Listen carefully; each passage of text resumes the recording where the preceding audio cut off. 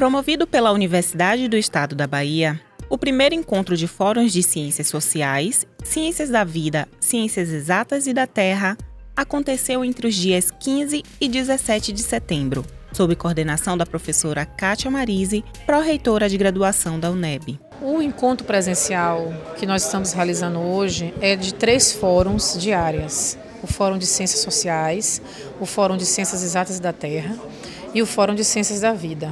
Esses fóruns eles foram implantados desde março deste ano como um locus de discussão do desenvolvimento dos currículos dos cursos de graduação.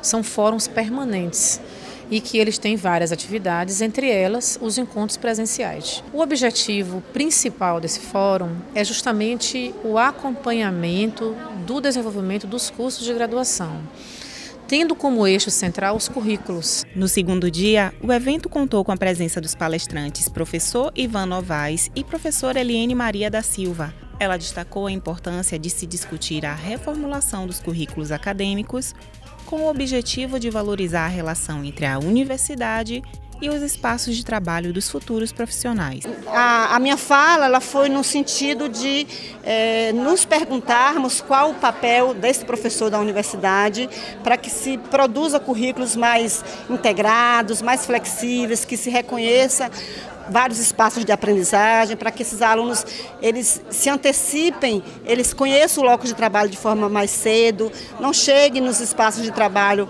apenas no final do curso, mas que comece a aproximação no início do semestre. A temática é, traz a, a docência para a licenciatura como campo potente, ou seja, é preciso que a licenciatura assuma né, que a docência é o seu foco maior de atuação. Então a fala foi nessa direção.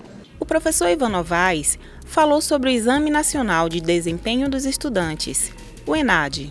Esse evento foi muito oportuno porque tivemos a possibilidade de ter uma discussão mais aprofundada sobre o ENAD, é, sobre as etapas que envolvem o ENAD e, sobretudo, sobre a responsabilidade de cada coordenador com cada etapa do ENAD. Professores, coordenadores de curso e diretores de departamentos participaram do encontro, discutiram sobre o panorama atual do espaço acadêmico e deram sugestões de melhorias. Nós estamos aqui nesse evento muito satisfeitos de ver a integração que a gente está conseguindo né, com essas atividades que a Prograde tem proporcionado para os coordenadores de curso.